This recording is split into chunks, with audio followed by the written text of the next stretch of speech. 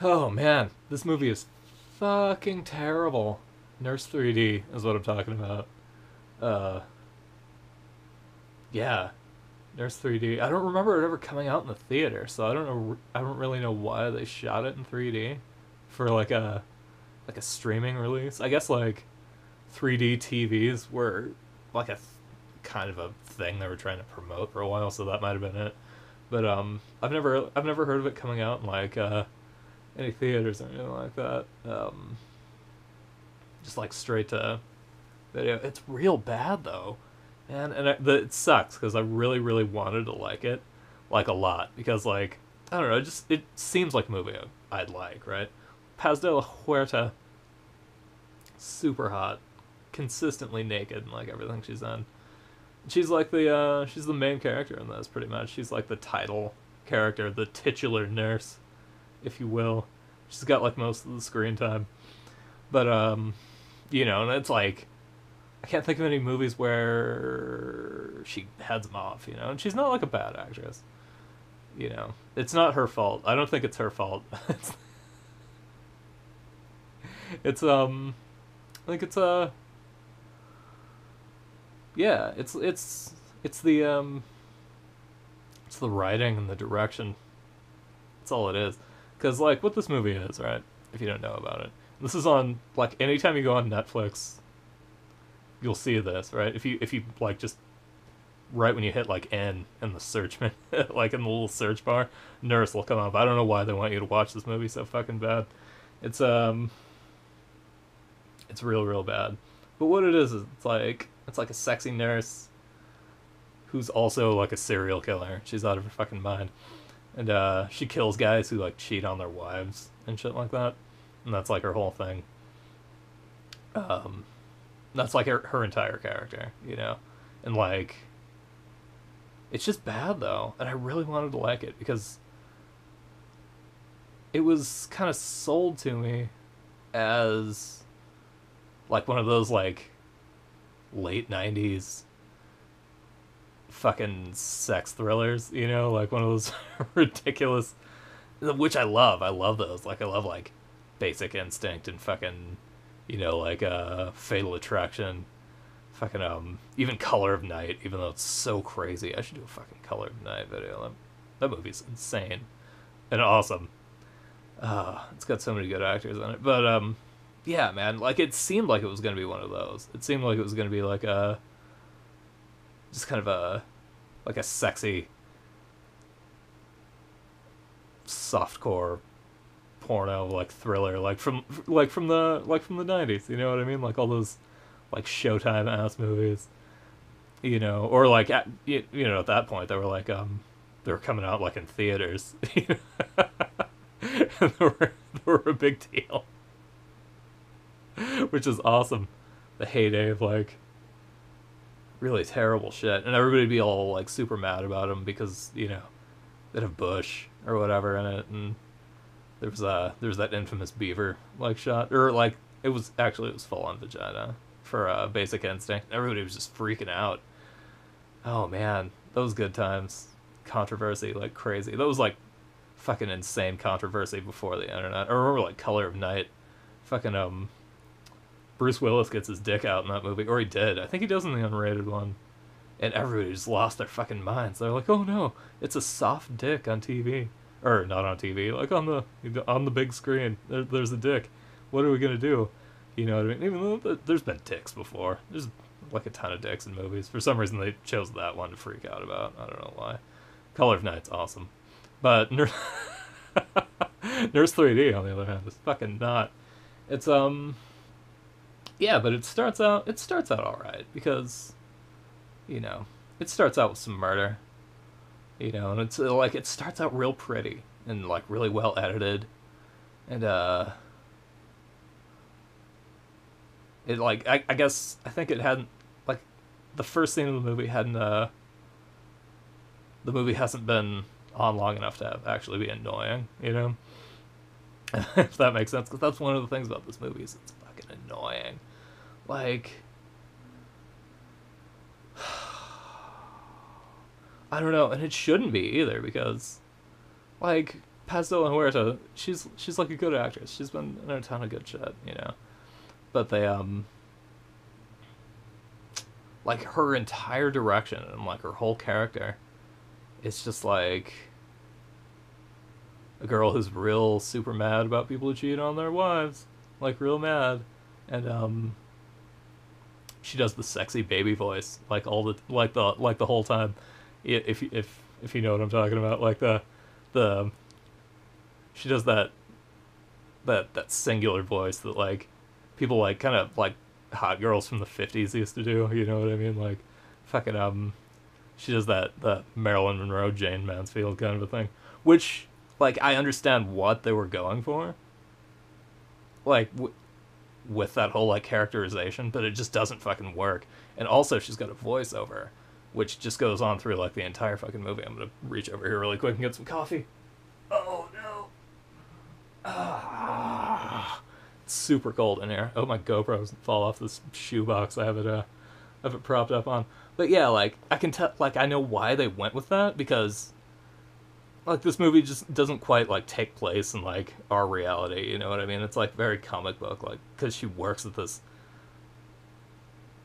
like weird hospital with like just like this super like intense like core of nurses, you know, and they all wear those uh like the old timey nurse uniforms with like the little hat and stuff, like the fetishy weird nurse uniforms. You know, they don't dress like actual nurses dress; they're just in like pajamas, pretty much, with like cartoon characters on them. You know, but um, yeah, man, like she works at a hospital and she murders people with kind of like vaguely medical ways. You know, like she uh slashes somebody's femoral artery with like a scalpel that she got from the hospital and like there's one scene where she uses some kind of like paralytic drug to like paralyze a guy and make him get in a car accident and just it's just it's not great. It's just not a good movie at all.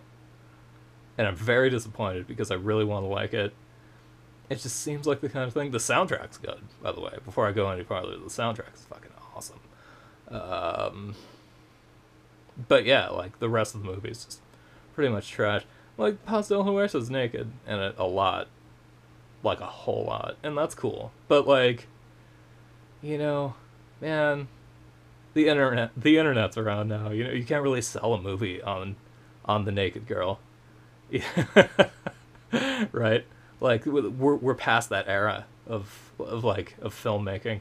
You know what I mean? Like it's cool when there's tits in movies. Like I'm not complaining but like it can't be like the selling point. Like I remember when uh there's that one fucking movie, what was it, Swordfish or whatever came out, and like Halle Berry got her tits out, and like they gave her like a million fucking dollars because they knew you couldn't just look up Halle Berry's tits on the internet and like have them, you know. So they were gonna like recoup that that money and like box office sales in the first week because people were gonna go to you know see this fucking like pretty bad movie about like cyber crime or whatever just just to like get a get an eyeful of the boobs, which you know whatever. She's she's got good ones. You know I don't know if they're a million dollars good, but th- then again like you know the market value of like actress tits has kind of gone down as of late. You know like glorious or you know god technology but anyway uh yeah man she's naked in a lot but like that should not be a selling point for this film. You know, she's making better movies. Honestly, she's a good actress. She's been in, she's been in fucking good movies. She was in Limits of Control, which is awesome. Not a very big part. She's not like Nurse 3D nurse in it. You know, like she doesn't have. I don't think she has any lines actually. But uh, very there's very little dialogue in that fucking movie. Limits of Control is awesome, by the way. You should all see that fucking Jim Jarmusch like crime thriller kind of like that's what he does with crime thrillers though. Like ghost like Ghost Dog for example. You know it's like a crime movie but eh, you know what I mean? Like that's what he does with like all his movies honestly. You know? Fucking Only Lovers Left Alive it's a vampire movie eh, kind of you know Limits of Control is like that. It's like kind of about smuggling and murder but you know, it's more about like this guy's like weird philosophy and shit, like the main character. And but Paz de la Huerta is super nude in that movie. So if you if you're if you're looking for a filmic context to fucking check out, Paz and uh, that's a that's a fucking that's a perfect example of a really really good movie that she's in. Boardwalk Empire. She's uh she's in that super naked in that. That's a really really good show. Even though I haven't seen like the the last like two seasons, somehow I just kind of lost interest, or maybe I'm I think I canceled my cable or something. Something happened. I don't remember. She's good in that. Um, Enter the Void. Not not my favorite film, honestly. Gaspar No or whatever. I think that's how you pronounce his name. You know, and it's not a bad movie. It's a pretty movie. She's in that. I think she's naked in that. Yeah, she is because she's the guy's sister. I think. Who dies? Because uh, yeah, um, Enter the Void is all all kinds of about like reincarnation and shit, and like this guy dies. Oh no, IMDb. Come on, help me out here. Excuse me, ladies and gentlemen, while I unprofessionally look up information on the internet. Here we go. Pause. Uh, enter the void. That's like, it's got a 7.3. I don't know if I like it that much. It's okay though. It's real pretty and it's kind of gross, you know. Like Gaspar. Gaspar No movies are that, you know. But, um, all cast. Whatever. I think she's this guy. She plays this guy's sister in it, and it's like a brother sister drug dealing team in uh in Tokyo, and the guy gets shot by the cops, and like he gets reincarnated, and he goes through all the uh, he goes through all the like Tibetan bardos and shit, but they like uh, they, they like demonstrate it like visually through like just like his memories and like he this ghost is flying around like looking at shit that happens. But um, at the end of the movie, he gets banged into his sister and reincarnates as her baby. So I think she's naked at the end of that because she's getting fucked. Yeah, that makes sense. the the movie itself isn't like it's it's pretty and it's like interesting to look at, but I don't know like I don't know if I'm a big fan of Gaspar now, really. It bothers me because right before this guy gets shot, he's reading the Tibetan Book of the Dead and he's talking about how cool it is. And he doesn't realize that he's going through all the bardos, getting reincarnated, and he's gonna come back instead of fucking like getting nirvana and shit. I'm like, turn back, motherfucker! Quit thinking about all that bad shit. Just, just go on. Don't get reincarnated anymore. Particularly into your sister, because that's just kind of weird. Anyway, that movie, not my cup of tea. People do like it though, depending on your tastes. You know, I'm not saying it's a bad movie. I'm just saying it's, you know, it's not. I'm just not a, a huge fan of it. Anyway, Nurse 3D, man, I've been fucking rambling. Nurse 3D is terrible though. Um, Paz is super naked in better movies. Uh, yeah it's uh they try to they try to do a lot. They try to do a lot with it, and I think that's one of the problems. Like they try to do the '90s like sex thriller thing with it, and there's this whole thing where they like kind of cast doubt on like people's identities and shit like that, and it's kind of like they go and like investigate like the orphanage where the nurse like came from and it's like but it's it doesn't really matter. Like nothing in the movie really matters. Nothing they do. Um yeah and they, they kind of try to do like a little american psycho with it you know with like the voiceover. But she's doing her sexy baby voice like the entire time and it's really badly written. Like the dialogue is terrible. It's super bad. And it's like they're trying to have her say dirty shit but it's like the least sexy like dirty stuff like you could have people say like in a movie you know? Like and that's like half of her dialogue half of her like internal dialogue is like oh, i want to fuck? So and so you know or like she's talking about like because she gets a lesbian crush on like one of her uh one of her coworkers and they end up like going out and like going to some kind of like club or whatever and like she uh she roofies like her coworker and like she like fucking like does a bunch of stuff to her and like films it and they they fuck some guy as well and um she's kind of like she's got these pictures, and she's kind of like threatening like her uh, her her crush, who is uh Cerie from Thirty Rock. That chick.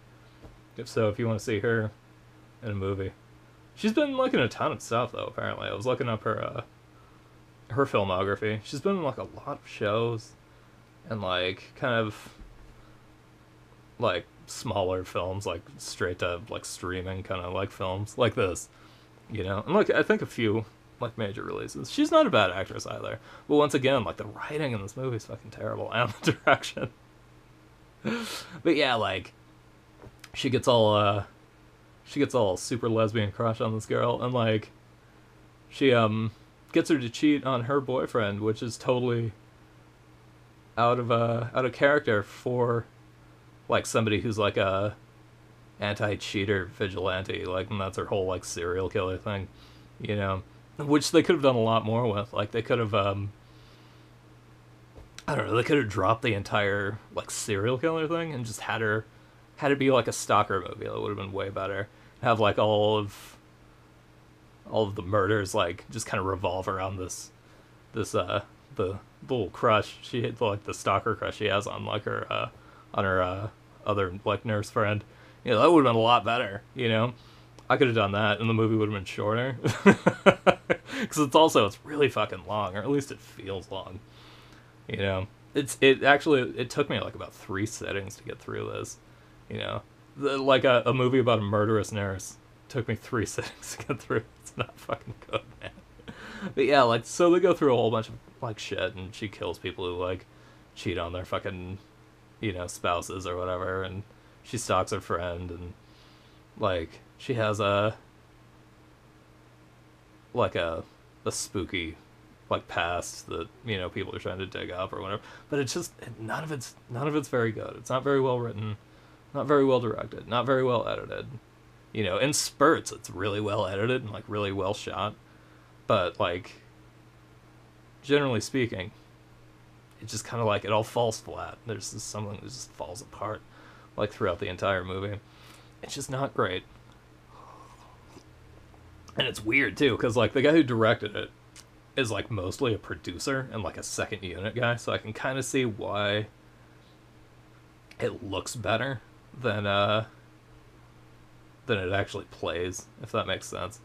He's done he's been he's been like involved in like a ton of movies that I liked.